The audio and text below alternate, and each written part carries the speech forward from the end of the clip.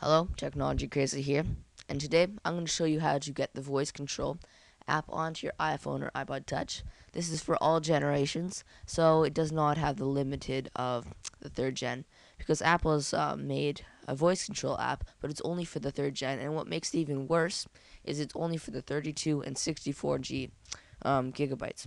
So, uh, first you're going to go download um, a few things. If you've never used WinSCP before, you want to check out my other video. It's in the description, and it's about OpenSSH or WinSCP. And I'll show you how to use that.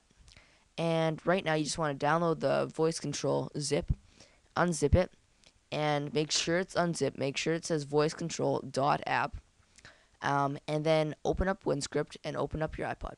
Now you want to go back as far as possible, so all the way back to um, the farthest back you can go and you want to go under applications and once you're done that it will automatically take you to private var stash and applications. If you did not get that applications shortcut just go into var um, private var stash applications. Um, once you're done that you want to take the voice control dot app make sure it's a dot app and drag it into your ipod. And notice how i'm not actually putting it into a folder. I'm actually just putting it so it's not highlighted. If i have it on this it will put it into that folder. I don't want to do that. I want to put it in. So it says private slash var slash um, stash slash applications, and that's where you want to save it. You do not want to save it under something else. So you just want to click copy, and of course I already have that, so just gonna can cancel that.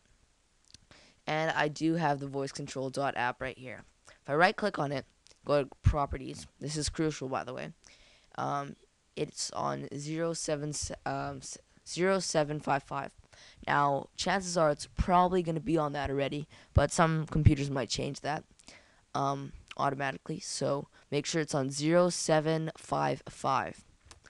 Um, and make sure it's not, uh, it's unchecked over here. Now, once you're done that, just reboot your iPod Touch, or if you're on the third gen, iPod Touch 8 gig, you just want to respring.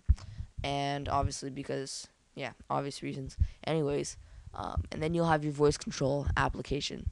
Now I'm not going to do a big review on the voice application, so I'm just going to show some pictures at the very end of it.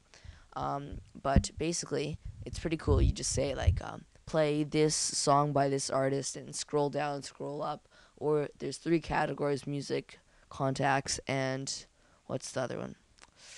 I forgot the other one, but anyways, there's three categories and you say switch to. You can switch through them in voice, but you have to have a microphone in before you plug it in.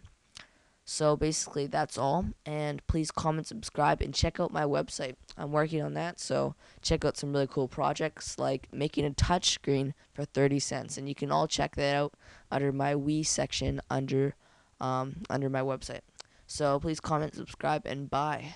Yeah.